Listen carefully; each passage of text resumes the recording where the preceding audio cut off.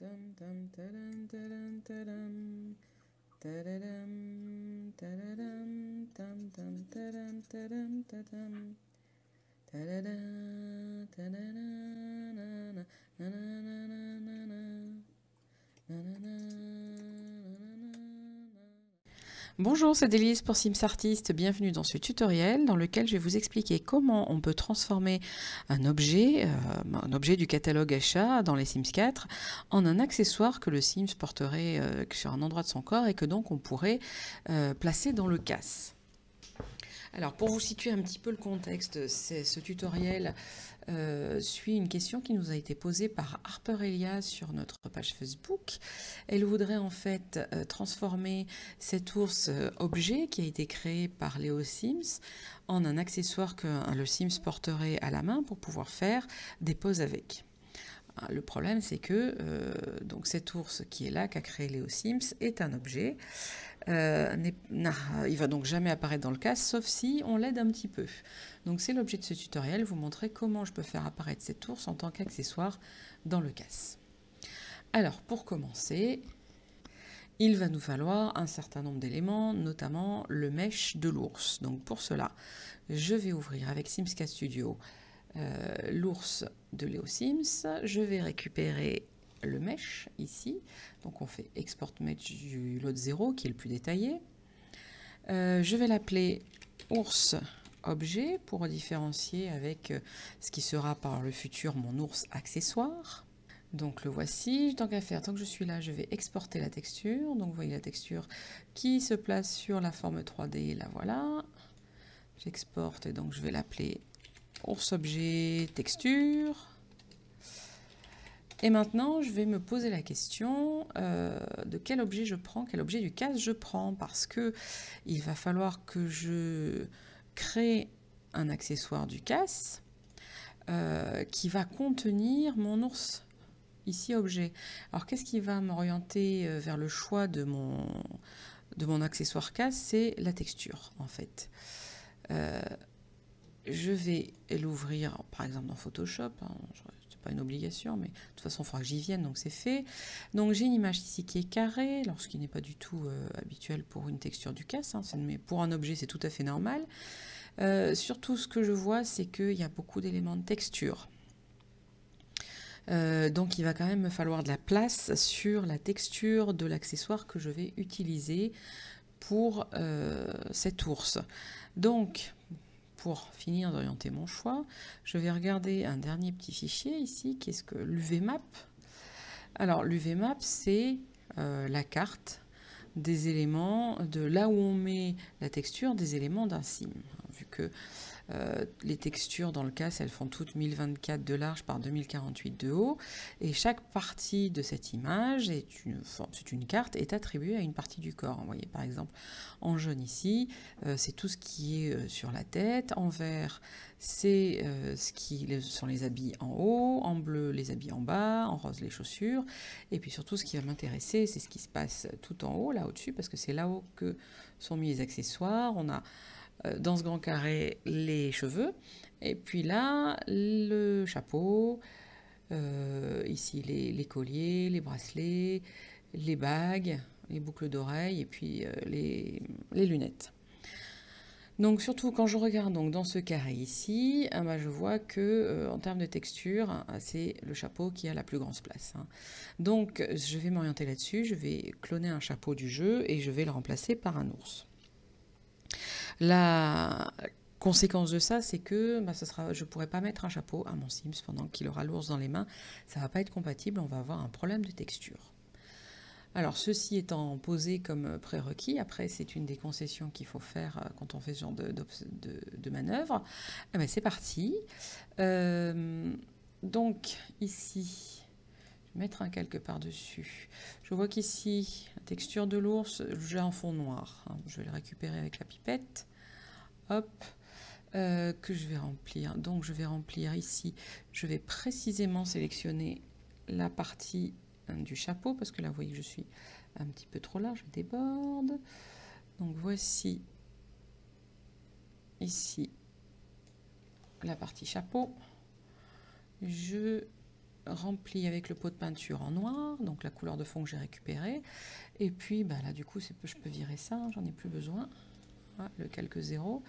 Je vais enregistrer sous format PNG.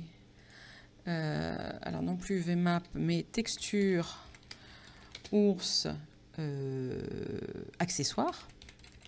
Et je vais créer ma texture. Alors on aurait pu commencer par travailler sur l'UV, euh, dans la 3D, peu importe, hein, dans le sens dans lequel on le fait. Euh, je vais dupliquer ça directement sur ce que j'ai à côté parce que franchement ça va être un peu compliqué, j'en ai peur. Je vais l'enregistrer sous fichier PSD aussi parce que j'ai peur que je voudrais pas écraser mon UVMap en fait. Enregistrer. Donc je vais directement dupliquer mon calque 0 à côté.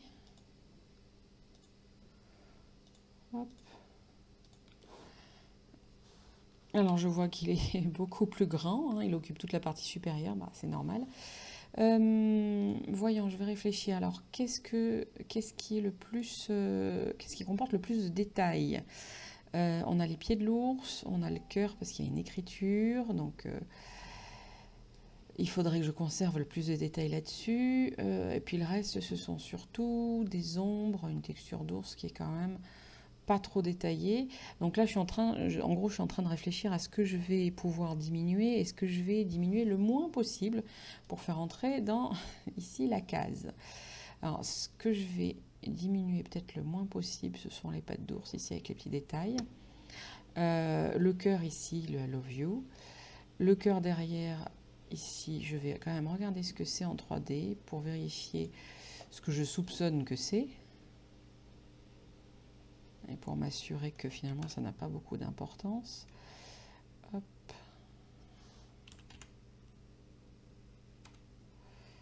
Je vais regarder ce qui se passe en 3D en éditant. Donc ça, ça c'est la partie arrière du cœur, c'est bien ce qui me semblait. Comme c'est derrière que c'est caché, surtout en accessoire, ça n'a pas besoin euh, d'avoir une grosse texture. Ça, on va pouvoir bien le diminuer, ce deuxième cœur. Le premier nom, donc là c'est parti. Donc objectif, réorganiser tout ça. Hein, euh, voilà, je vais le mettre dessous. J'ai enfin trouvé un endroit. Réorganiser tout ça pour le faire entrer sur le carré noir là-haut. Et ensuite, il faudra que je fasse la même réorganisation sur l'UVMap quand je serai en 3D sous Blender. Donc je vais montrer de façon détaillée peut-être pour les premiers éléments, puis je pense que j'accélérerai un peu pour la suite, parce que là, je vais faire une série de, de manœuvres qui se répètent. Alors ça, c'est texture de base. Voilà. Donc je vais faire un CTRL X, CTRL V, faire un petit gruyère à la fin. Hop, alors ça reste quand même beaucoup trop gros. Euh, parce que je vais pas avoir la place de mettre tout le reste. Hein. Donc je vais le diminuer. Euh, je vais le diminuer, je pense, à peu près de moitié hein, à vue de nez. Hop. Hop, j'ai rien qui dépasse, on est bon. Je vais le décaler un tout petit peu vers le haut et la droite. Euh, j'ai dit les pattes d'ours aussi. Les pattes, je ne pas trop, trop. Je vais diminuer aussi, hein, bien sûr, parce que sinon j'arrive pas à tout faire entrer. Mais euh, ça devrait le faire. Ah, si je diminue juste un petit peu.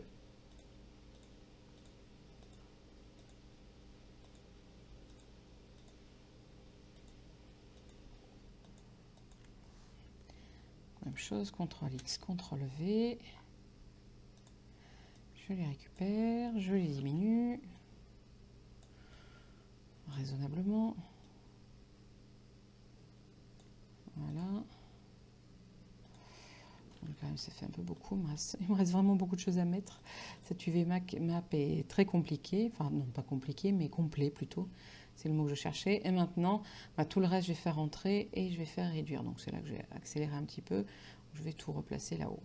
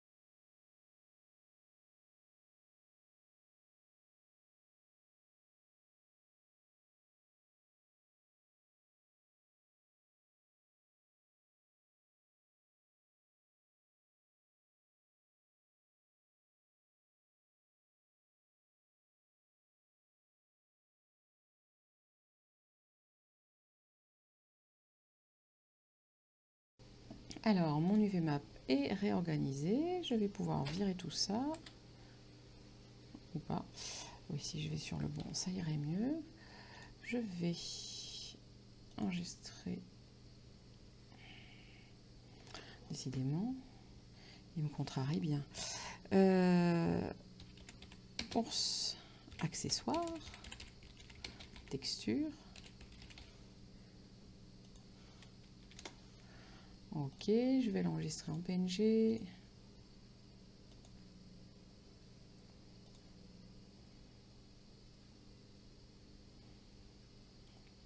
Ah bah, je l'avais déjà ici, je vais appeler texture ours accessoire.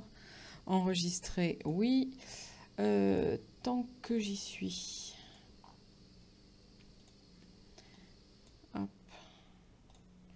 Donc je fais une petite sauvegarde de mes calques que je cache. Comme ça, je vais avoir un seul, euh, un seul groupe avec ma texture. ça, ce que j'ai gardé en dessous, c'est ma sauvegarde. Je, que j'y suis, je vais faire euh, la normal map hein, parce que j'en aurai besoin.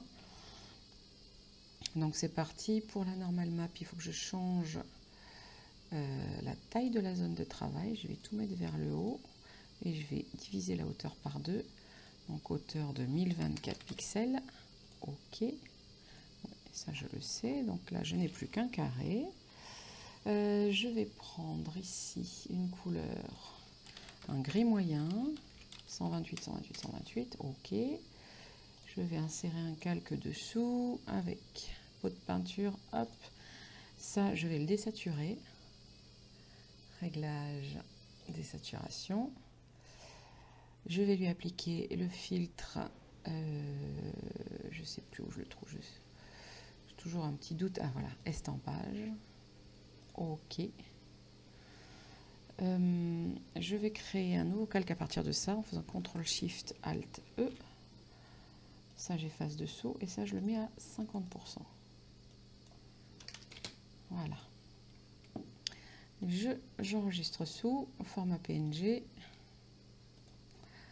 ours accessoire texture. Euh, c'est pas texture c'est normal map. Je pense que j'aurai besoin que de ça. Voilà. Donc ça c'est bon pour la texture. Alors je vais créer un clone dans le casse un clone d'un objet du casse pour aller euh, y incruster à l'intérieur mon ours accessoire. Donc je vais créer euh, dans le casse un 3D mesh alors que prendre euh, J'ai envie de dire que là, plus par habitude, je vais prendre euh, des chaussettes. Hein, parce que ça, passe, il me semble que ça devrait passer assez bien par rapport aux autres accessoires. Hein. Euh, parce que la plupart des accessoires ont des, des particularités par rapport au reste. Est-ce que je vais trouver les chaussettes? Je ne les trouve pas, j'ai les yeux bouchés. Les chaussettes ici. Euh, si jamais ça devait poser un problème par rapport à certains vêtements où les chaussettes n'apparaîtraient pas, je ne sais pas, je, ne pense pas, mais au cas où, je vous mettrai en lien dans la description de la vidéo un, un de Fouyaya qui vous expliquera comment y remédier. Donc là, je fais Next. Ici. Et euh, ce sera mon euh, ours accessoire, du coup Alors je vais avoir besoin du mesh. Euh, sachant que pour une chaussette, il y a juste un load. Je vais faire export mesh. Donc euh, chaussette.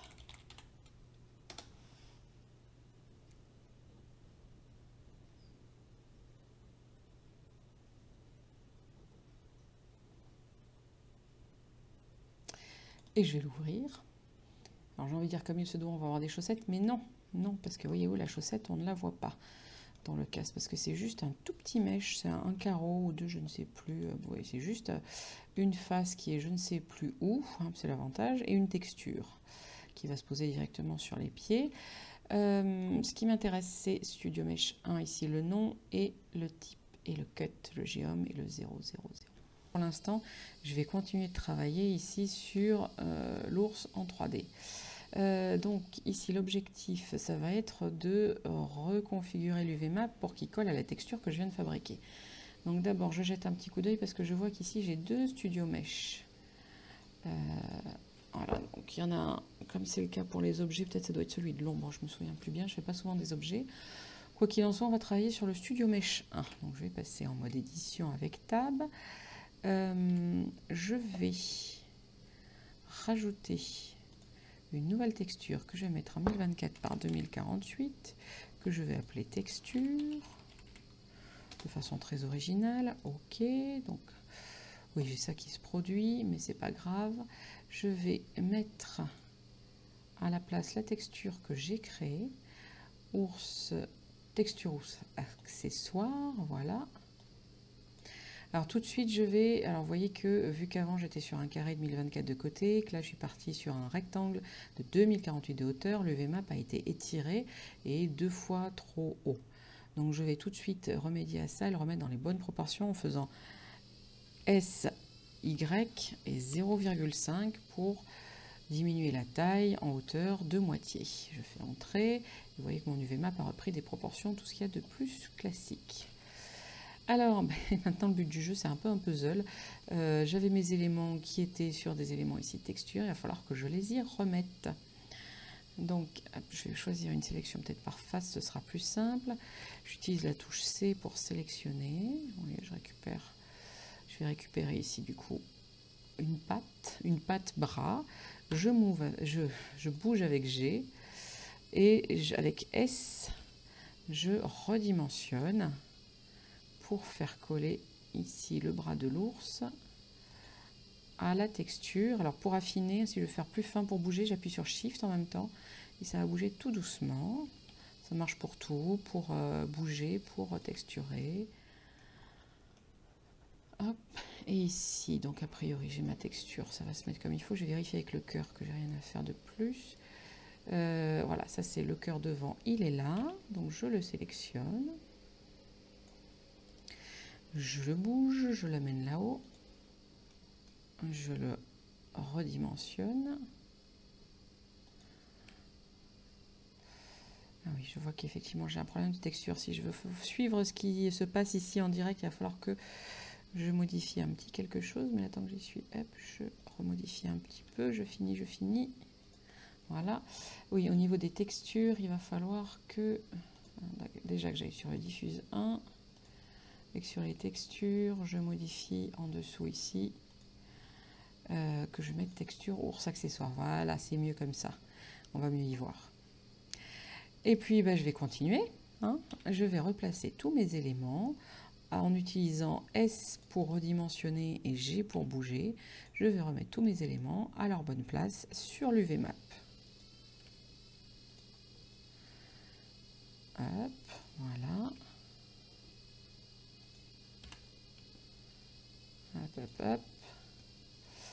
Et ben voilà le principe. Hein. Là, c'est pareil. Du coup, je vais passer un petit peu en accéléré parce que il n'y a plus rien de très intéressant qui se passe.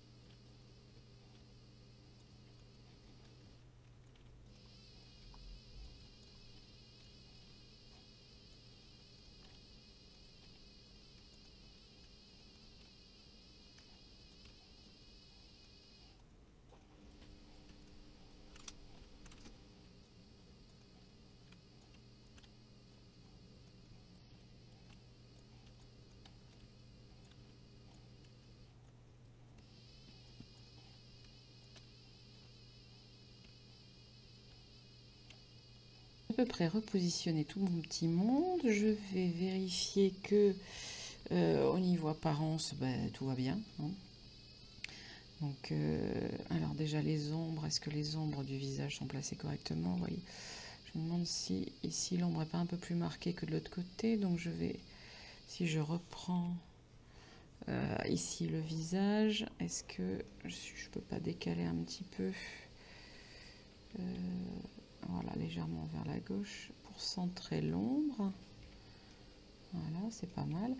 Euh, j'ai aucune lumière en bas, ce qui fait que du coup on n'y voit rien en dessous. Donc je vais le bouger un petit peu, je vais le monter.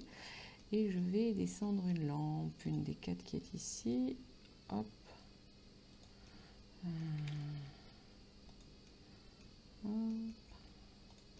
je vais mettre sous mon ours pour y voir quelque chose. Voilà. Alors, dessous, on y voit. Alors, il n'y a pas de problème particulier, j'ai l'impression. Euh, bon, après, on voit les coutures, mais c'est rien de méchant. Il n'y a, rien qui déborde, il n'y a pas de noir, il n'y a pas de... Au niveau des ombres, ça a l'air plutôt correct. C'est par là. Mince, j'ai glissé. Voilà. Le rendu du Love You est plutôt pas mal. Hein. Je trouve ça, malgré la diminution de map. Euh, là j'ai des ombres. Là. écoutez, il m'a l'air pas mal du tout cette UV map. Je vais l'enregistrer. Donc, save. On peut faire save as et faire un, objet 1, mais bon là j'avoue que pour le coup je suis plutôt sûre de moi. Donc je vais reprendre mon fichier chaussettes et je vais y incruster mon ours. Donc pour ça, on va faire File, Append. Euh, on va reprendre l'ours objet, c'était, euh, non pas scène, euh, c'était le Studio Mesh 1 si je me souviens bien. Et le voici, mon ours qui est incrusté dans la cimette. On va virer ce rig 1 qui sert à rien, ce bonne aussi qui sert à rien.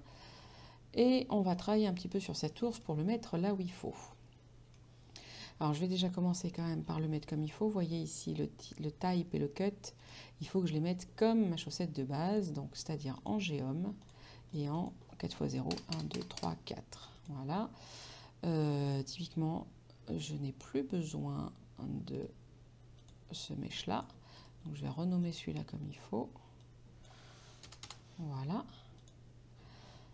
Et je vais aller déplacer mon ours pour le mettre comme il faut. Euh, je vais le mettre euh, quelque part au creux ici de la main.